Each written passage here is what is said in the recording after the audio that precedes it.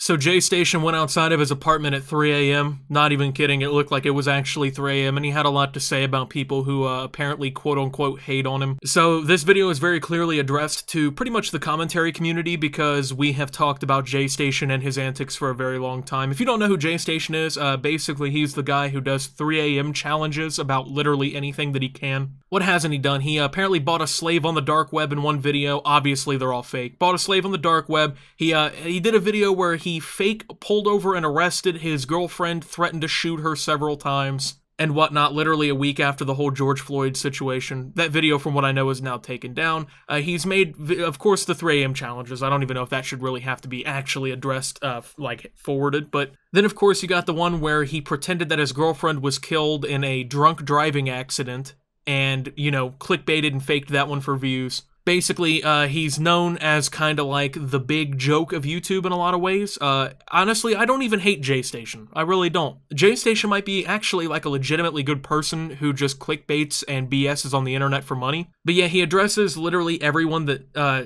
talks, I guess, about his videos as quote unquote haters, which is odd because once again, I, I don't hate I don't hate Jaystation whatsoever. I just think that the videos he makes are predatory towards children oftentimes scares them and takes advantage of the fact that they don't understand that it's fake in order to capitalize on money. So, yeah, he had some stuff he wanted to say, and uh, I want to go ahead and kind of just react to it and respond to it because, like I said, I, I think it's kind of funny and I think it's uh, worth addressing if we're keeping it a buck here. So, Jaystation has been going kind of off the deep end recently. Uh, he's been talking about all kinds of crazy things, uh, one of which that I think is hilarious is he's apparently going to sue Nerd City and Colossal is Crazy, uh, two other commentary channels, because I guess they have said bad things about him, right? They, they don't like his videos or whatever, and uh, he's going to sue them. So I would love to see how that holds up in a court of law, how he's going to be able to sue them and it work out for him. But I think uh, Ethan Klein of H3H3 uh, already kind of proved that you are allowed to criticize other people's videos uh, legally on the internet. So uh, when he ends up uh, losing that case like that, I mean, that might be a little funny, to be honest. But yeah, uh, let's go ahead and just address the video here. Uh, before we go ahead and get started, I do want to make sure to remind you guys, over half of you have yet to subscribe. Go ahead and hit the button down below. Plenty of content being uploaded daily. Make sure to leave a like as well if you do enjoy, and tell me what you think about all this down below. And uh, yeah, with that being said, let's go ahead and just jump into reacting. Look, man, this is so stupid. Listen, if my shit is so for kids, then why the are you guys watching it?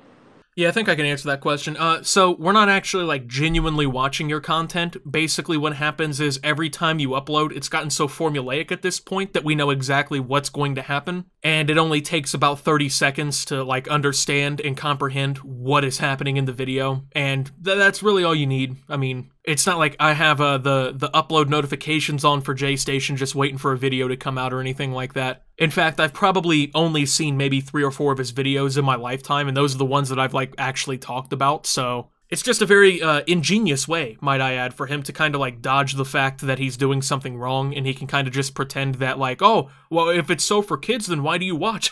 gotcha. When in reality, it's just him deflecting criticism and realizing uh, that you know we're only realistically even announcing anything about him or bringing anything about him out because of the shit that he does. So, you guys are grown adults.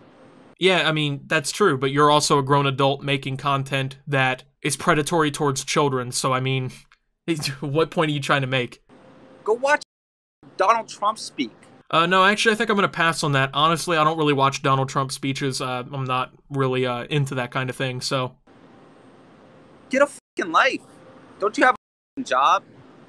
Make one video on Jaystation. Suddenly, you don't have a life. You know, the, the logic really, uh, the logic really, I guess, just comes right out. It's in flying colors at this point. He he really understands uh, the whole point against him. You're an adult. You watch my videos and they're so for kids. You don't have a life, weirdo. Go watch some Donald Trump speeches or something. Yeah, I do have a job actually. Uh, I I have two jobs. Uh, one of them actually is to talk about things that I find interesting or find, you know, newsworthy, topic worthy. And uh, yeah, when you do the things that you do, oftentimes, that's uh, that's considered topic worthy to me. And uh, yeah, that that's kind of my job, my guy. I, I, I get paid to, to do YouTube just like you do. So I would think you, if anyone, would understand that. So. Don't you got a job? Yeah, I just answered that for you. Yeah, it's literally to just do whatever I want on YouTube. So. Look, dude. Okay, I'm looking. Six million people like what the fuck I do. They hit subscribe. I got one and a half billion views on YouTube before I deleted some. That's cool, dude. Uh, yeah, that that would be an even bigger accomplishment if it wasn't content directly aiming towards children, and not even just aiming towards children, because kids channels are fine most of the time in my opinion if they actually make kids content. But it's the fact that you know once again clickbaiting your girlfriend's death well, quote unquote death i should say uh, acting like you were arrested by the police in that video when you weren't fake arresting your girlfriend uh, and threatening to shoot her a week after a massive tragedy erupted protests and conversation across the planet the dozens, honestly, at this point, countless 3 a.m. challenge videos you've done that are intended to manipulate the fact that children don't understand it's fake. Yeah, that, that's uh, that's kind of the whole point. So, a lot of people like what I do. Yeah, a lot of kids like what you do. Uh, uh, once again, I'm not debating that. I'm not debating the fact that no one likes what you do. The debate is that what you're doing is morally very kind of slanted, and at the end of the day, that it's quite ridiculous. So, I, I don't understand where this is coming from. I don't give a if you like it or you don't. I'm gonna do what I like to do, bro. Period. Period. Because there's a lot of people that like it. Period.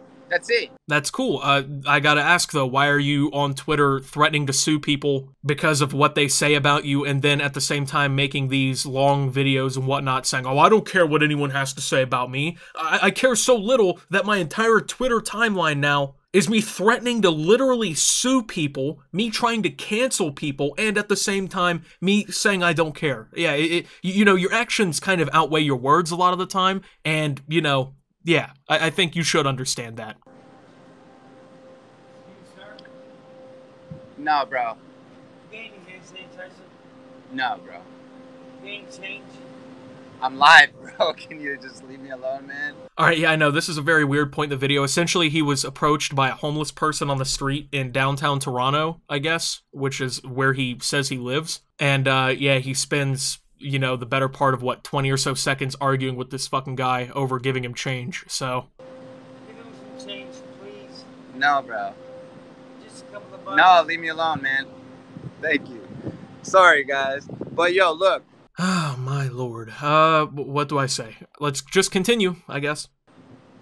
These keep coming back at me, man. They're gonna attack me, attack me, attack me, attack me, bro.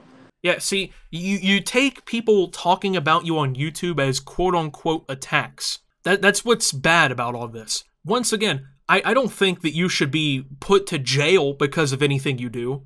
I don't even think that you should be canceled. I just think that you should realize the kind of content you're making is messed up. I'm not attacking you. Nobody that I can think of who makes videos on you is attacking you. Like, you're a grown man. You know what I'm saying? It's about time to get out of the YouTube victim mentality and quit pretending like people saying that you're you, you're saying some and doing some bad stuff on YouTube is quote unquote attacks. Look, I'm sorry, guys. Look, I live downtown Toronto, bro. This is a daily occurrence, man. These people ask me for everything. Okay, that, that's pretty cool, I guess. But look, I'm gonna keep on doing what I want to do. Period. I don't give a. F- I don't make my video for you. I don't make my video for you. If you a hater, go the somewhere else, man. Go somewhere else, dude. I, I don't give a about you. Okay, so you're gonna keep making videos, you say, which whatever, right? Uh, you don't care about me. The video is not for me. Okay, so if the video is not for me, then why are you so worried about my input? Why are you so worried about other people's inputs? If the video is not meant for the people criticizing you, why do you care? To the point that you're threatening lawsuits, you're threatening literal legal action against people. You know, Th- that doesn't really insinuate to me that you don't care. But then on top of that, you you unironically called people saying that you know your videos are morally slanted. You called them haters. So that kind of right there was like negative 10 points on your argument. So Dude, go watch what you like. Like I said, Donald Trump, go watch it, bro. why do you insinuate that I like Donald Trump? I I don't. I don't care about what Donald Trump's speeches have to say. I don't actively care about politics that deeply to the point where I'm like, I gotta tune into Donald Trump's speech today. Like, it's a very passive topic to me, you know? It just, okay. Go watch it. I guarantee you, I can guarantee you, This is gonna be good. He's gonna guarantee us something, so I'm hoping that he really follows through. this dude right here is gonna make the best movie you ever gonna see. I, I gotta tell you, dog, uh, if it's anything like you've ever uploaded to your YouTube channel, I can already tell you I'm not gonna like it. And if you don't like it, which I guarantee you will, your kids are gonna like it, bro. Uh, no, I, I don't have kids, so I don't think my kids are gonna like it. And they're gonna put their little poster on the wall.